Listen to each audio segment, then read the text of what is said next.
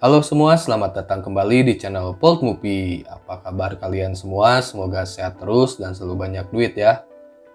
Di video kali ini saya akan menceritakan alur film yang berjudul A Pair of State yang rilis di tahun 2018. Nah, film ini mengisahkan tentang seorang istri capres yang suka publicitis dengan tim sukses suaminya. Hmm, Nah bagaimana kisah selanjutnya? Tapi sebelum masuk ke alur filmnya, jangan lupa subscribe terlebih dahulu agar tidak ketinggalan alur film menarik lainnya. Oke, kalau begitu nggak perlu berlama-lama lagi, kita langsung saja masuk ke alur filmnya. Let's go!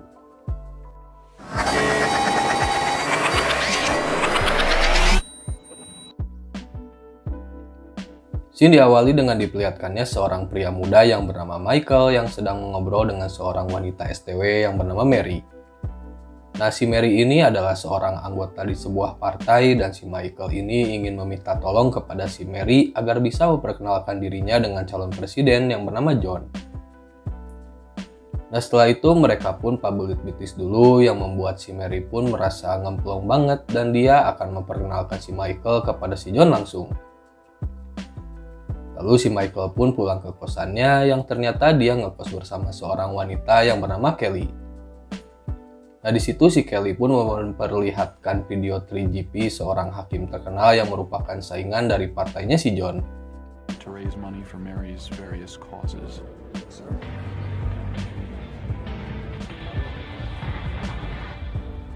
Elected before his 25th birthday. Singkat cerita, acara partai pun dimulai dan si Michael pun diperkenalkan kepada seorang pria yang bernama Rob. Nah, jadi si Rob ini adalah ketua tim sukses dari si John. Dan jika si Michael bisa bekerja sama dengan si Rob, maka itu adalah gebrakan besar dalam hidupnya. Namun si Rob ini kelihatan cuek banget yang membuat si Michael pun harus mencari cara lain agar bisa mendekatinya dan si Michael pun menawari si Rob dengan rekaman video seorang hakim lawan politik dari si John lalu mereka pun sepakat untuk bekerja sama dan akhirnya si Michael pun diperkenalkan kepada si John.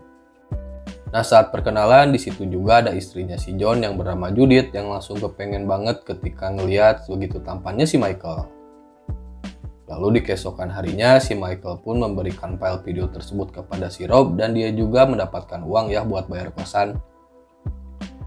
Nah singkat cerita si Michael pun datang ke kediamannya si Judith dan di situ si Judith pun langsung pengen public bitis dengan si Michael. Dan akhirnya mereka pun hmm Lalu setelah dari rumahnya si Judith, si Michael pun pulang ke kosannya dan si Kelly pun kuku lutus karena flashdisknya diambil oleh si Michael. Namun si Michael pun langsung memberikan uangnya kepada si Kelly sekaligus memberitahunya kalau si Rob ingin si Kelly juga ikut gabung gas and it runs on battery. Nah setelah semuanya lancar, si Michael pun punya mobil baru yang dibeliin sama si Judith, tapi si Michael harus mau public bitis setiap si Judith pengen. Hmm. Lalu kita ke si Kelly lagi yang sekarang dikasih tugas sama si Rob untuk mengambil file dari capres lainnya dengan bayaran yang lumayan besar. Nah di situ si Kelly pun langsung tertarik ya, yang akhirnya dia pun setuju akan mencarikan file tersebut. Singkat cerita ada acara di rumahnya si John dan juga si Judith dan di situ juga ternyata ada anaknya si John yang sangat cantik yang bernama Darcy. Nah si Darcy ini baru aja lulus dari sekolahnya dan di situ si Michael pun langsung terpana melihat kecantikan si Darcy. Not sure. Just started. Or what? Lalu ketika si Michael lagi ngudut di pinggir danau, tak lama datang si Darcy yang ternyata dia juga udah suka merhatiin si Michael dari jauh. Nah di situ si Darcy pun semakin jatuh cinta ya, hingga dia pun mengajak berdansa bersama si Michael. Hmm.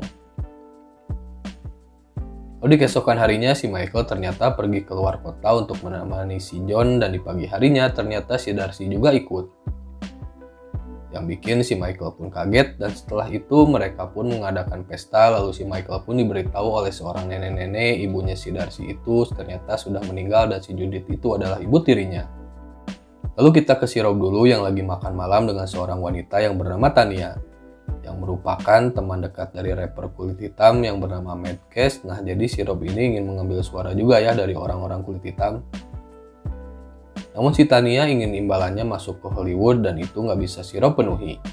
Yang akhirnya si Tania pun pergi bersama pria kulit hitam lainnya yang merupakan pebasket profesional. Jadi si Rob ditinggalin gitu aja ya. Austin pun beralih ke si Michael yang lagi berduaan bersama si Darcy di pinggir jalan. Nah, di situ si Darcy menceritakan kalau ibu aslinya sudah meninggal dan dia minta kepada si Michael agar membantu ayahnya dengan sepenuh hati. Lalu di keesokan harinya, si Michael pun dikasih tugas oleh si Judith untuk cari tempat yang tersembunyi agar mereka bisa tenang pabelit bitis. Dan jika si Michael menolak, maka si Judith akan bilang kepada si Rob kalau si Michael telah memperkausnya. Hmm. Michael, Rob wants to see you in his office. yeah, um, I think I said the... young voters by attacking the way they dress. Lalu di malam harinya si Michael pun pergi ke sebuah bar untuk bertemu dengan temannya, namun di sana dia pun melihat si Darcy dan si Michael pun langsung gak jadi minum karena takut disangka cowok gak benar. Namun ternyata si Darcy juga udah lihat si Michael yang akhirnya mereka pun pulang bersama dan sesampainya di rumah si Darcy mereka pun melakukan public bitis di kebun yang penuh dengan rengit. Hmm, Lalu setelah itu si Michael pun pulang ke kosan namun dia pun mendapatkan kabar kalau si Kelly lagi riweh karena temannya yaitu si Tadia digebukan oleh orang suruhannya si Rob. Nah jadi si Rob ini sakit hati ya sebelumnya ditinggal begitu saja pas dinner berdua. Lalu di keesokan harinya si Kelly pun disuruh pergi dulu dari kosannya sama si Michael karena si Michael mau bawa si Judith ke kosannya. Namun di sini si Kelly masih belum tahu kalau si Judith itu istri dari capres si John ya. Nah, tak lama si Judith pun datang dan di situ si Judith pun langsung pergi lagi karena dia takut ketahuan sama si Kelly. Lalu si Judith pun menelpon si Michael agar memaksa buru-buru cari tempat buat public bitis dan singkat cerita mereka pun beres dua rit public bitisnya ya tetap di kosan itu. Namun ternyata si Kelly udah nyimpen kamera tersembunyi di kamarnya si Michael. Nah di malam harinya si Michael pun dikasih tahu sama si Judith kalau dia harus ngejauhin si Darcy karena si Darcy itu suka keluar jiwa psikopatnya dan si Judith pun dulu tangannya pernah ditusuk. Lalu di pagi harinya si Michael pun heran karena si Kelly nggak ada di kosannya. Lalu si Michael pun ngeliat pesan dari si Kelly yang ternyata itu adalah video rekaman pebelit bitis antara dirinya dengan si Judith. Nah melihat hal tersebut bikin si Michael pun panik dan dia pun langsung pergi mencari si Kelly karena pasti si Kelly bakal dikejar sama si Rob. Lalu tak lama benar saja si Rob pun langsung menelpon si Michael dan si Michael bilang kalau urusan si Kelly bakal dia beresin dan video itu nggak akan pernah kesebar. Lalu si Kelly pun berhasil ditemukan ketika ngasih file tersebut ke rumahnya si Judith. Namun ternyata yang buka pintu adalah si Darcy dan di situ si Darcy pun langsung ingin tahu isi dari file tersebut. Nah setelah melihat file tersebut, membuat si Darcy pun sangat sedih, lalu dia pun langsung nyuruh si Michael untuk pergi.